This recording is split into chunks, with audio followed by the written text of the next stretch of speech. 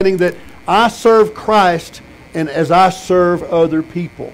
Now, folks, I've been doing this a long time. And I, and I have been honored in so many great ways. But when I, I made the transition of my church being the senior leader there, I went from the pulpit to the pew from one Sunday to the next. And I left my church because I had to leave. Now, I, we are two campuses now. And I left my church. And so I started going to my son's other church. My church became a video campus. And then his church was in another city, so he was preaching there. I stepped into a congregation that many of them did not know who I was. Uh, and then if I was introduced, this is Brian's dad.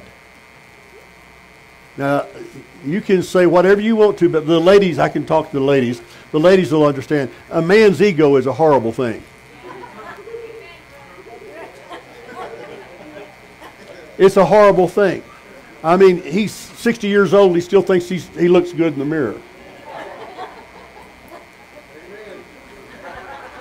How is it that a man can look in the mirror and go, he sees it all self chiseled out, and a woman turns around and looks and says, Oh my gosh, I've grown. I look horrible.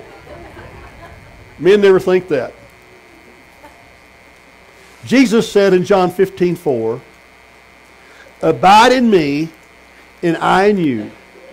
As a branch cannot bear fruit of itself unless it abides the vine, neither can you unless you abide in me. When we abide in Christ, we take on His nature, and Jesus gave His life for people. That's why I go to the world. I made the mistake of looking into the eyes of needy people that do not have the gospel. Ladies and gentlemen, you are filthy rich compared to the world. I've ministered in Nepal where the average salary is $17 a month. You have no idea the poverty of the world and the depravity. I've been I've walked through the places where Hinduism and they still do human sacrifices.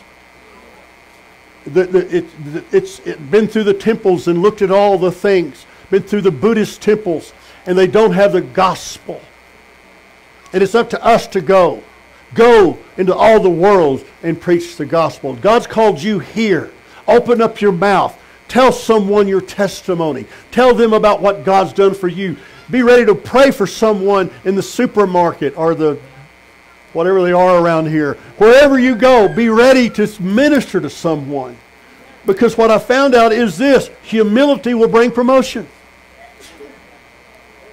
I have never, how many in here has ever coached? You, you can have a great young man that's on the football team or on the soccer team, and if he's arrogant and full of himself and not a team player, who wants to use him? And that's the way it is with God. When we humble ourselves, God will prosper us. God's favor will surround us as with a shield. Everything we put our hand to will prosper. See, our, nat- our natural strengths begin to fail, but guess what? God gives us strength when we bring ourselves into a place of humility. He will exalt us in this thing called due time. Yeah, due time. The Greek word there, if any Bible people here, is kairos. And it's not like the time of day. It's like God's appointed time at His right time.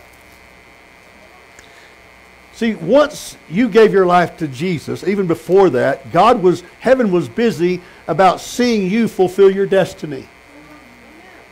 And there's strategic times in your life, kairos times, appointed times, the due time. A good illustration of this is, the, is a young man named Joseph.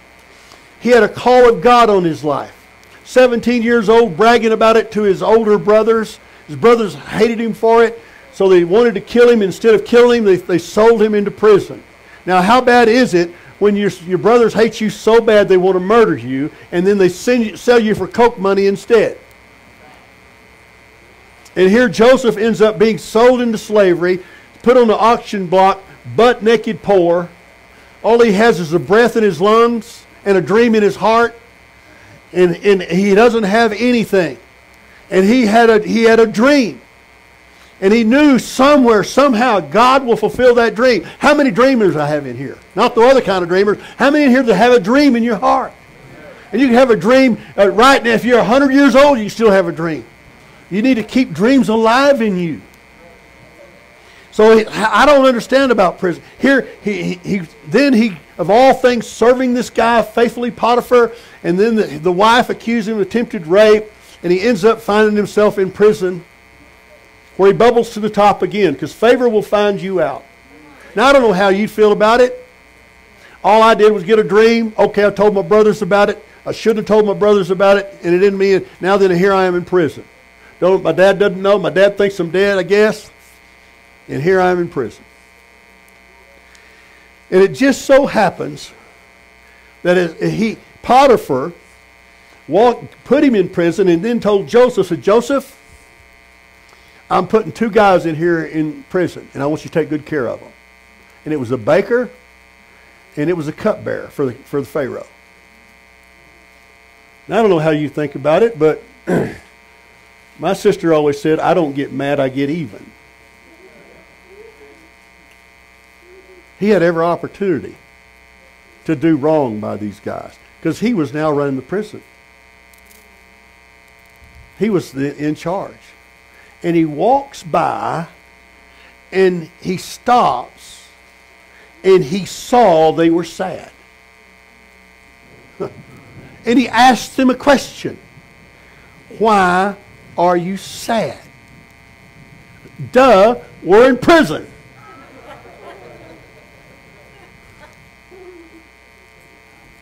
And then they said, Well, we had dreams. And we don't know what they mean. And then Joseph, he, uh, he says, Well, tell me, I have the power to interpret the dream. Just a sideline. In all this stuff going on in his life, he interpreted his own dream. I believe Joseph had figured it out to some extent, maybe not fully, but he'd figured it out. I can interpret dreams. How can he say something that, that arrogant? unless he'd not interpreted his own dream. So they tell him his dream, and he says, Well, good news for you, uh, cupbearer. Your, Pharaoh's going to take you back in. Baker, in three days you're going to die. And then he told the cupbearer, Remember me before the Pharaoh. the things we do the friendships we make, the people that we try to get in touch. with. Hey, can you elevate me a little bit? Can you help me a little bit? Some folks think they go to the right church, they'll get good business from other people. And here Joseph said, Just remember me. I'm an innocent man. I didn't do anything. Talk to me about Pharaoh. Two years. Say two years. Two years, go by. Forgot about him. Why? It wasn't due time. It wasn't soup yet. Hmm? There's a lot of people that aren't soup yet. It takes time to marinate. We're, you know, we're in the microwave. God's into marinating. And I don't care how many times you say, but God, but God, but God, but God, but God, but time the ticks. I need to, I need to be successful now in due time. What do you need to do? Humble yourself in the hand of God. See, so often what we try to do is manipulate God or manipulate people around us to try to be elevated in some degree. And you cannot, uh, listen, you cannot, I'll say this one more time, you cannot get God to, get, to manipulate God and get Him to promote you any earlier than what you're supposed to do. If you do get promoted, you will fail.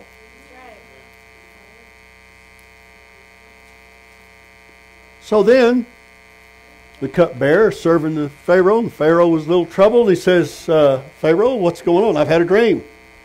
I can't interpret the dream. And in the midst of that, the guy goes, Oh, I remember this guy named Joseph.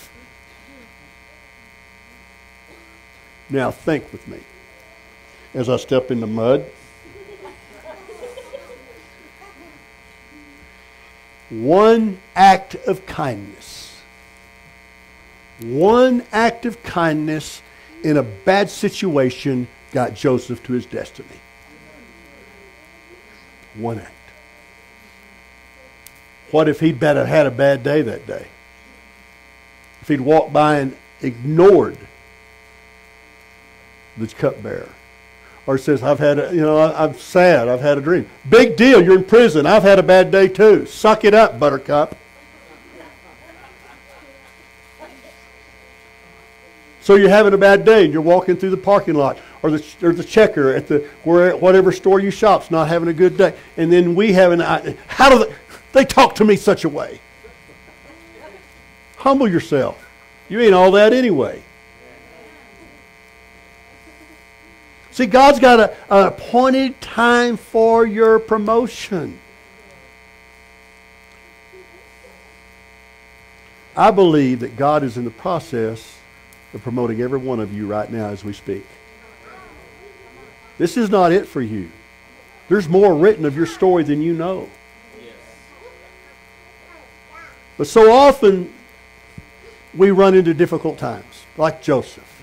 How many in here had, nope, not, never mind, all of us in the same boat. We've had difficult times. Things come down our way. And then, you know, we feel as if that God has abandoned us. I know that you probably never thought that, but sometimes you pray and it feels like He's not listening. Is anybody?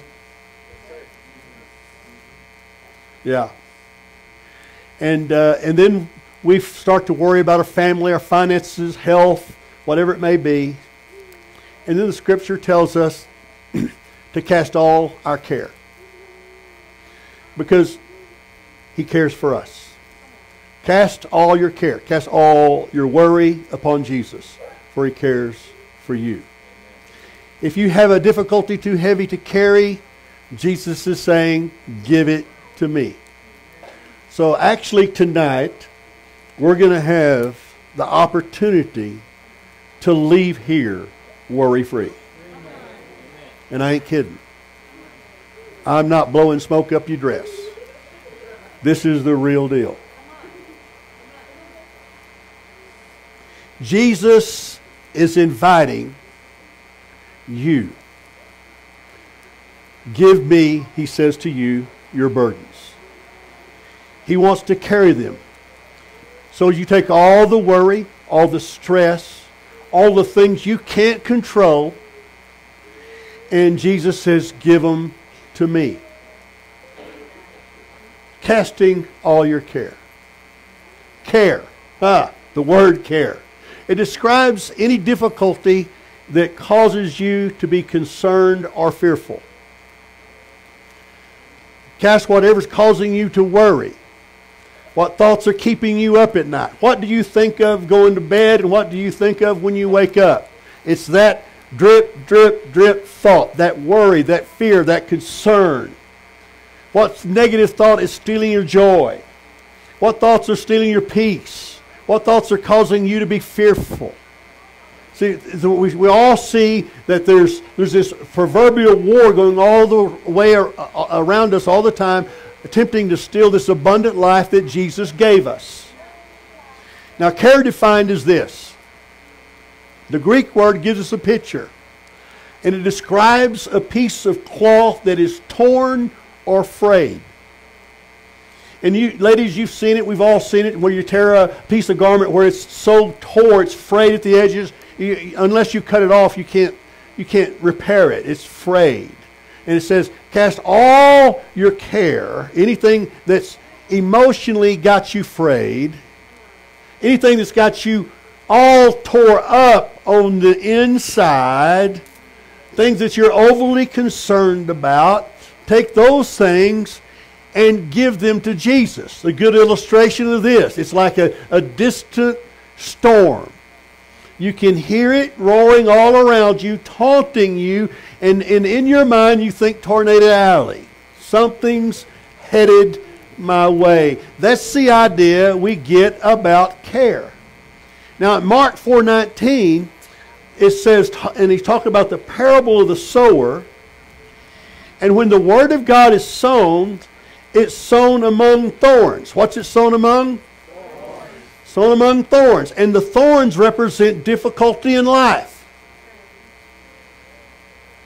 And so, the, so people hear the word, and the cares of this world choke the word of God or the promises of God until the faith, your faith, my faith, becomes unfruitful. That means the fear or the care now outweighs the promises of God in my life to the degree that I can't have fruit. I can't come boldly to the throne room of grace because I feel, I feel condemned. Doesn't matter what comes my way, I find myself in a place of being unfruitful. When we, when we, when the care or the problem becomes louder than the promises of the Word of God, then the Word of God is being choked out of our life.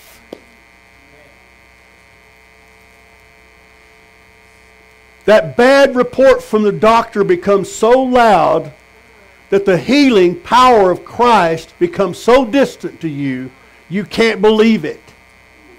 That wayward son, that wayward grandson, that, that rebellious, that you feel in your heart the devil will steal him, kill him before he has the, uh, him or her that has the ability to give their lives to Christ. See, thorns are painful and they attempt to disguise themselves as being permanent. And you become powerless when we become overcome with this pain and the Word of God is choked out of our lives and to the point where we become unfruitful. I don't want to be unfruitful because the Word of God says, be fruitful and multiply. Fill the earth. I believe that we're supposed to walk in the double portion anointing. I believe that we're supposed to, everything we put our hand to is to prosper. Listen, Jesus didn't die for a weak, defeated church. He died for an overcoming church. That's who you are. I don't know. When we get pray and in difficult times, we pray and it seems, you ever had the thought, God, don't you care?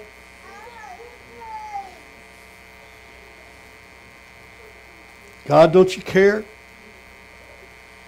And that's what the enemy spends all of his time on. He wants you to believe that God does not care. Where I go in the world, they have a caste system. We, you have no idea about prejudice until you travel India. And the caste system there is this you're born a slave, basically a servant, and you will never, ever get any better.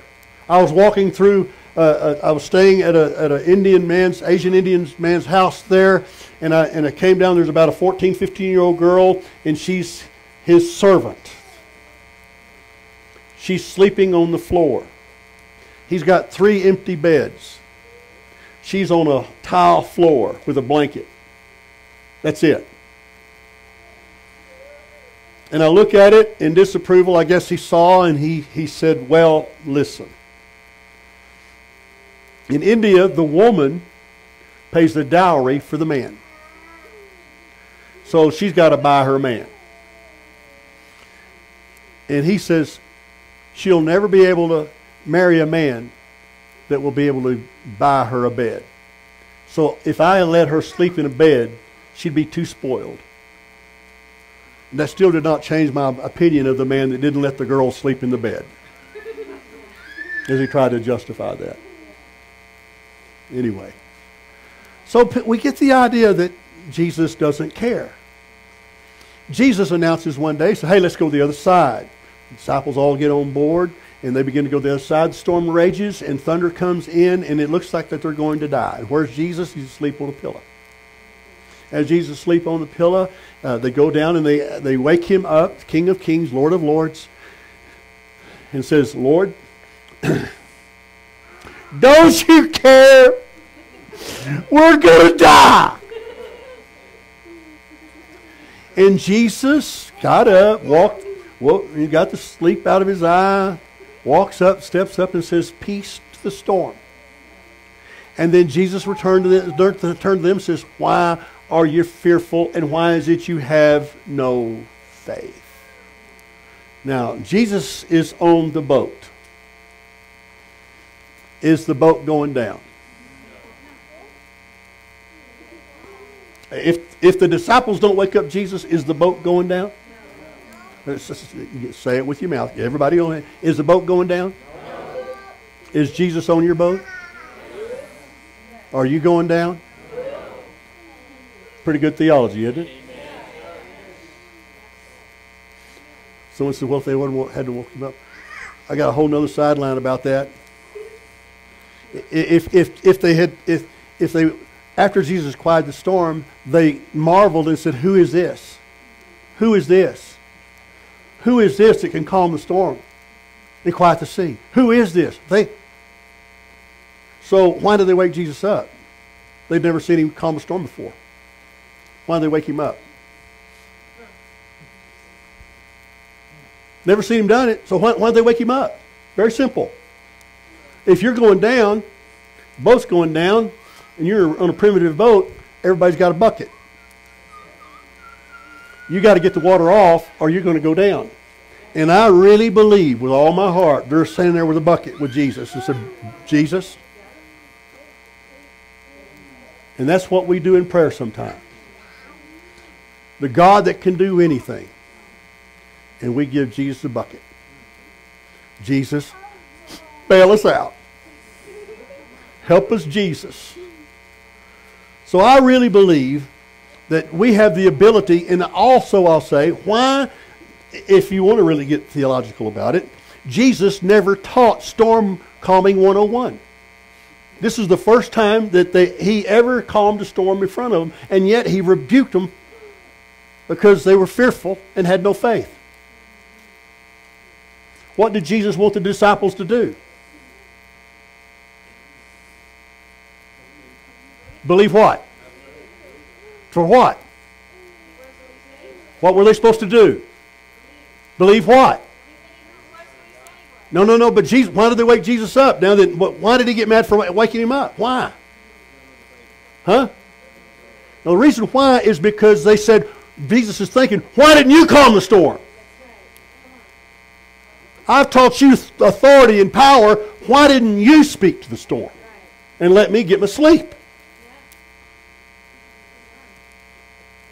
You walk in more authority than you know. You have no idea, with the name of Jesus, how much power and authority you have. My daughter in law was driving, and she had my two grandchildren. They were small. Now, we're Texas folks. She, she, my grandson calls his sister Bub. His sister calls him Bub. They both call each other Bub.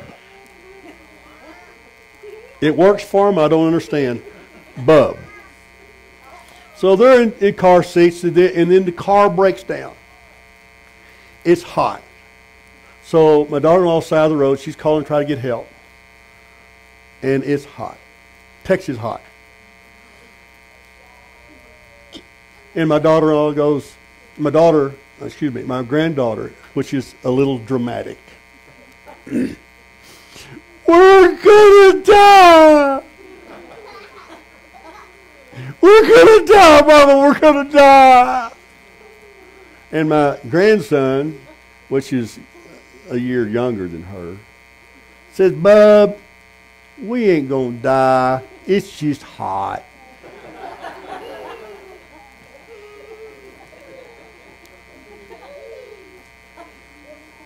Hmm.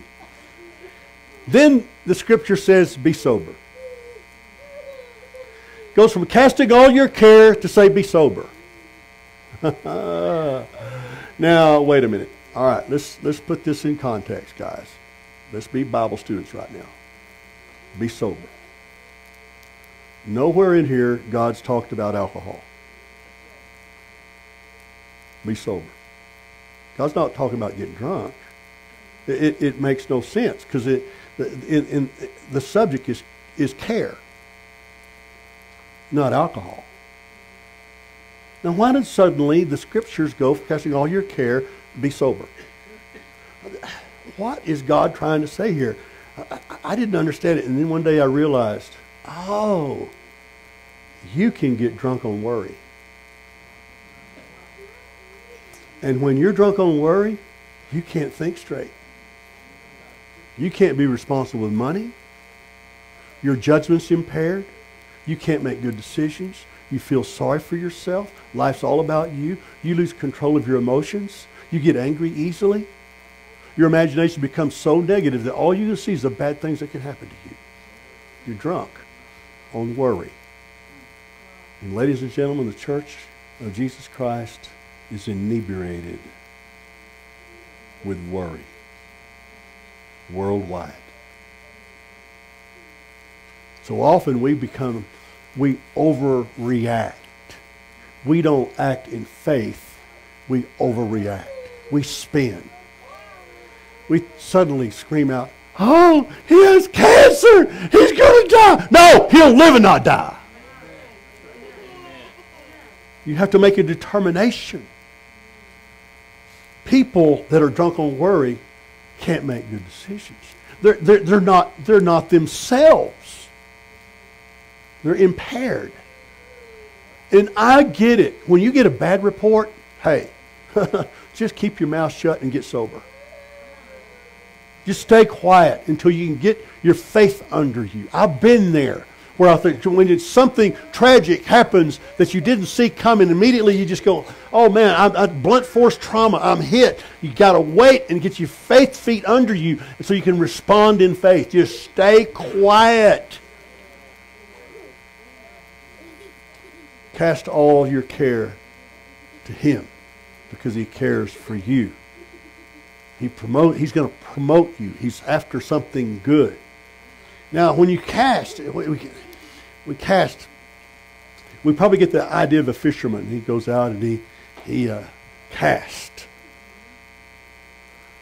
And then he reels it back. That's not the biblical definition, but it gives us a good picture of what we do. Because what we do in difficult times we go to the Lord and we say, Lord Jesus, here I am. Lord, I've got this difficulty, this problem, this financial situation. I've got all these things going on in my life, and I cast this care over onto you. And then we see our best friend say, Oh, let me tell you what's going on in my life. I've been praying about it and praying about it. We call a relative or two, anybody to listen to, next thing you know, we're sitting there and we guide it all back, and we're we sit and it gets so bad. So, well, wait a minute, wait, wait, wait, wait, wait, wait, wait. Oh Lord Jesus, I cast this care over unto you, and we repeat, and we repeat, and we repeat. You're to cast everything that concerns you over on to Jesus. Cast the money problem, the marriage problem, the bib, bib, bib, bib, I'm a professional communicator, the business problem. I'm going to go and say this. The addiction that you struggle with, that you're ashamed of, It doesn't surprise God. Give it to Him. Cast it over onto Him. Health issues, problems. Give Him every problem that concerns you. Give it to Him. Your, whatever causes you to worry and be concerned, you have the opportunity to give it over onto Jesus and so that you can live a stress-free, abundant life. Sound like a good idea? Now, the biblical meaning to casting is this, is you take a heavy load, too difficult for you to carry, and you put it forcefully over on a beast of burden. And here it, it would be a donkey or a, a horse or, or, a truck. Uh, if anybody here ever go up in the mountains go elk hunting?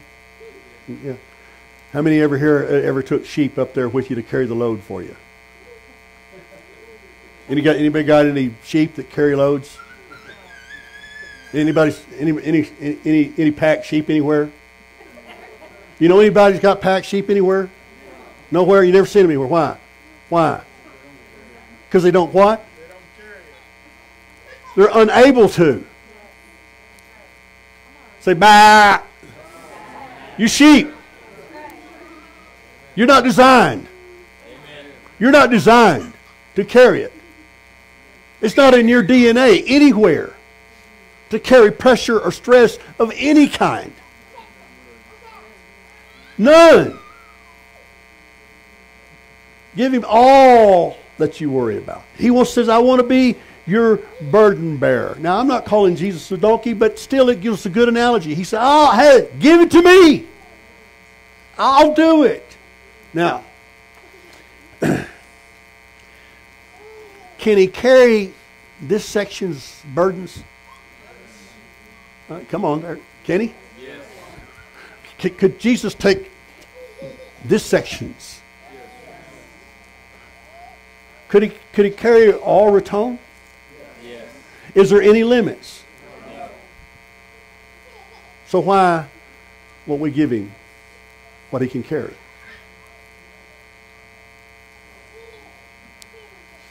Cast the worry, the fear, cast it over onto Him. Just like you take something and put it on over a truck. You put it there. And then you get in the truck and you drive the truck. You don't even think about the load. It's there. Jesus doesn't think about the load. It doesn't bother him at all. How many moms, you've gone somewhere and you, you, are shopping and you got the cart. And as you walk through around the, the cart and, and, and you got a little, little, let's say little Billy, little Billy's following you and he's helping you shop and, and you, you determine you're going to get uh, 10 pounds of bag of beans and you're, and, and Billy says, whoops, as I fall on my rear end, he says, he says, Mom, let me carry the beans. Well, Billy, I, you don't have to carry the beans. You just go have fun. Have you just follow me and have fun and play. And here's you know your cars, play cars. And just, no, Mama, I want to help you. Let me carry the beans. All right, Billy, carry the beans. So mom's in there, you know, she's in there 30 minutes or so, and Billy, he's at first he's pretty good now, and Billy's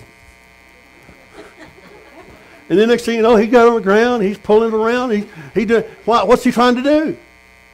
He's trying to help Mama, isn't he? He wants to be a helper, right? Don't we have a Holy Spirit called the helper? Anyway, he's dragging it, dragging it along, doing everything he can, try to help Mama. And Mama says, looks and says, "Hey, hey, are you tired of carrying that? It's no effort for me, son. Just let me take it from you and put it in the cart." And that's the way we're supposed to do Well, I'm responsible. I should carry my own load. You're full of it. You're your own God, I guess. I've tried Lord Terry. He's a sorry Lord. Sorry.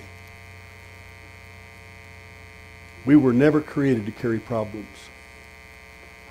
You've just heard, well, they were going to downsize. I may lose my job.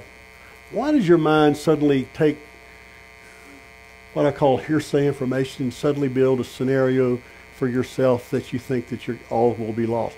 Why not just say, yeah, well, hey, if they're downsizing, I'm probably going to get promoted. Huh? You got to start looking at things differently. You, people get people get a bad report from the doctor. Your kids are rebellion. You know, it, it, we get all these things that come at us. Begin to look at the things that what God, heaven's busy about the things that are important to you. And he says, "Hey, come on, don't worry. Well, the economy. Well, you're not tied to this economy. You're tied to heaven's economy. And if you give, it will be given back to you. How? barely scrape by. Huh? Good measure, pressed down, shaken together, running over. Will God give back to you? I've never seen the righteous forsaken or their seed begging bread. Well, I, I, you know invested. It all went south. Well, bless God, it can go north. Come on. Aren't you tired of carrying the load? Aren't you tired of being emotionally strained? Well, I worry about my children so much. Stop it. My business, stop it. You realize that once you start worrying about things, all of your creativity leaves you. You can't think about other things to do. You can't think outside the box. Why? Because all you're thinking about, you're navel gazing. You're just thinking about you. And not, God never designed it to be about you, it's about others. Well, we want to see this region changed, but life's all about me. Because you're covered up with problems. And when you get this, your life will forever change. Today, or tonight, whenever it is, we're going to cast all our burdens over to Jesus tonight. Thank you for your enthusiasm. As a roar. I'm going to walk out of here so light, I'm going to lose 50 pounds tonight. Glory to God. Amen. My butt's going to shrink when I leave. Praise Jesus. Things are good.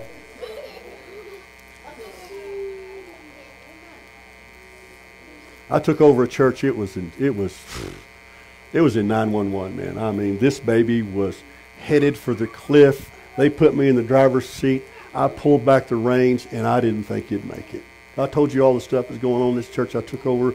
You, it, would, it would amaze you what was going on. And I remember I would come in.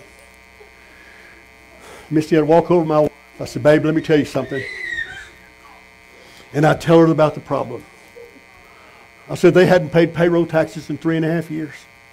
I said, that's $10,500 not counting penalties and interest. I said, babe, you don't understand. I says, I said, there's a mechanics lien against the property, and it's going to be $15,000. I said, we're in a lawsuit. Uh, and I, oh, we opened up the first Sunday in there. We opened up fifteen thousand. Oh, see, twelve hundred dollars worth of past due bills.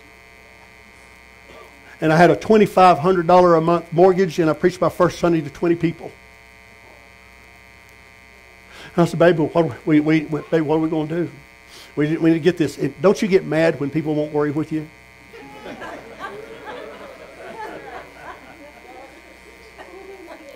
Some of you look at me, well, don't look at me that holy way. You get mad when people won't worry with you. No, I said, I said babe, yeah. She says, give it to Jesus. You want, uh, listen, you want to slap people that say that. No, worry with me. You don't understand. You don't understand the pressure I'm under to make this church go forgetting that the scripture says, You labor in vain unless the Lord builds the house.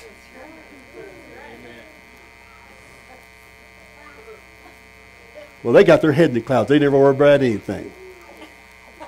They're irresponsible.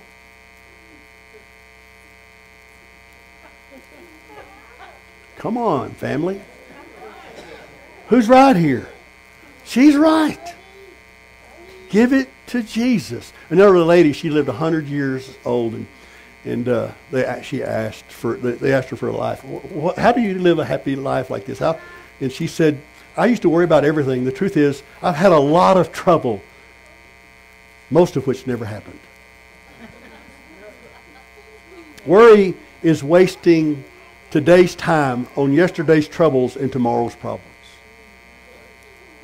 Worry can cause heart attacks, strokes, high blood pressure, depression. It makes difficult one difficulties to sleep. Worry causes sickness, creates mean, judgmental people. Worry makes you work harder at life. You're tired all the time. Worry steals your faith. It robs your joy, steals your peace, attempts to destroy your hopes and your dreams. And when you're drunk on worry and your faith's not working, and whatever you, decision you make is the wrong decision, you get stuck on stupid. You hit the stupid button and make bad decisions. And how many have done that? Never make a decision in worry and fear. Never, ever, ever, ever. What happens with worry is we become like the dog that worries the bone. He grabs a hold of it and he and he worries it and worries it and worries it and worries it and just grabs it. And how many have done that over issues in your life? And after the end of it, you say, Well, what I worry about, it all worked out anyway. How many's done things like, oh my God, my world's going to come to an end. And next thing you know, you got blue skies and everything's great and no problems whatsoever, and God worked it out. Why in the world do we spend such effort on such stupid stuff? See, what happens, the enemy comes in, he plants some thought of pending doom and con- tries to convince us that God doesn't care.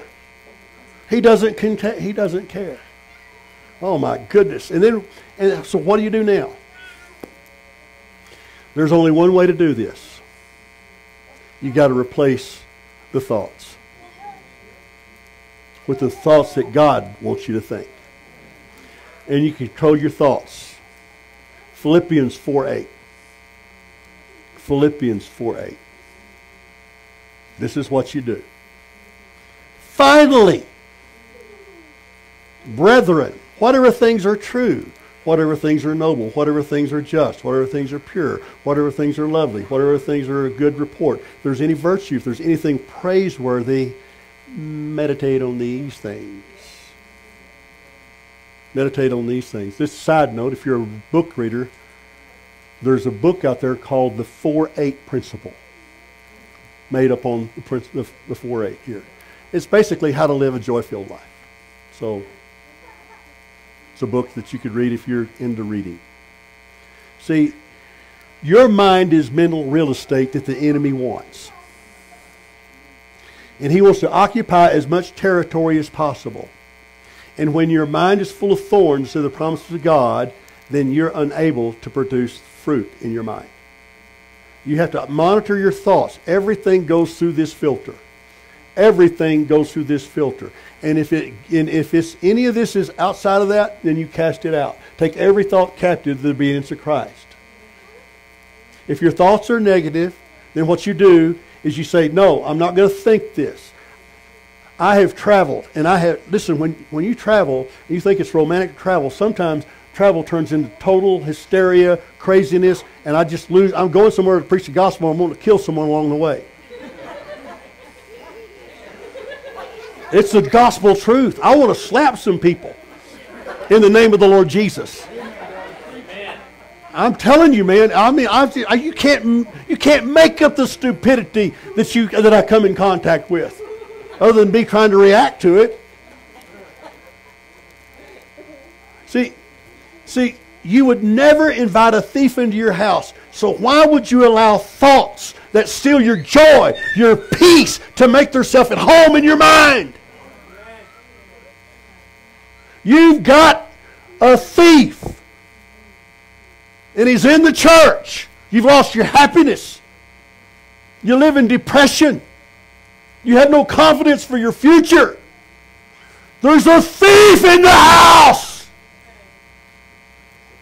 And no one can throw him out but you. Pastor can lay hands on you till you're bald headed. That's how I lost my hair. I'm telling you, it won't work. Only when you take authority in the name of the Lord Jesus Christ. You have authority. You have to renew your mind with the promises of God. You have to put the scriptures in your heart and meditate upon them. Well, I don't like to read. Then, then get on a smart device that's smarter than you and have it read to you. Find some way of getting the Word of God in you. Renew your mind. Because why? You have an adversary, the devil, that walks about as a roaring lion, seeking who he may devour. Resist him steadfast in the faith. Now, I've got to hurry because I'm going. I got a lot to give you here, and I'm just going to yell. Can, are we doing all right? Are you are you thoroughly all right? Still with me? The receiver still open? Can I go a little longer? All right. When you get a negative thought, think the opposite. You're going to lose your job. I'm going to get a promotion. If I lose this job, I'm going to get a better one.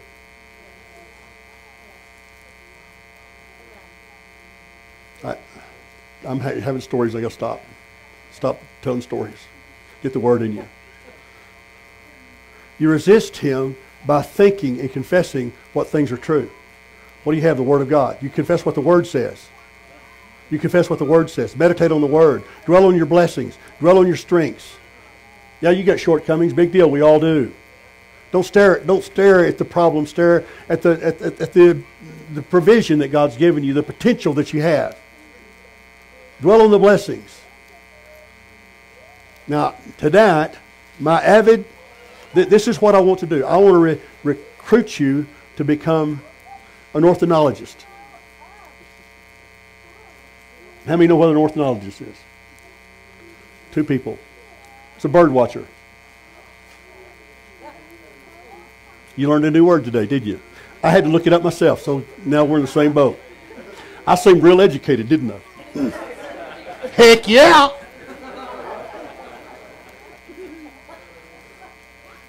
Now then, pay attention because I'm about to give you something that's going to change your life forever. Jesus is speaking, our Lord. And he says in Matthew 6 25 through 26, I want him to get it up there so everybody can see it. Therefore, I say to you, do not worry about your life, what you will eat or what you will drink, nor about your body, what you will put on. Is not life more than food, and the body more than clothing? Look at the birds of the air, for they neither sow nor reap nor gather into barns, yet your heavenly Father feeds them. Are you not more value than they? Now, can we come to the conclusion that you're more valuable than a bird? Come on, my church family, agree with me. Amen. All right. The, the Amplified Bibles, which of you, by worrying, can add a single hour to his life? Jesus tells us, do not worry. And then he gives us an example. Look at the birds of the air. The birds of the air, they don't sow or gather into barns, yet your heavenly Father feeds them. You're more valuable than they are. Birds don't have a bank account, right? Birds don't have a grocery store to go to, correct? They can't store their food in a barn, is that right? Now listen to me. Birds wake up every morning broke, hungry, and singing about it.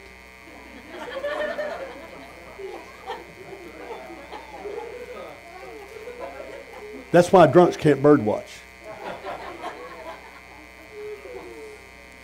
So if you're having a bad day, get yourself a cup of coffee and go out and sit on the back porch and look at the birds. And if one falls,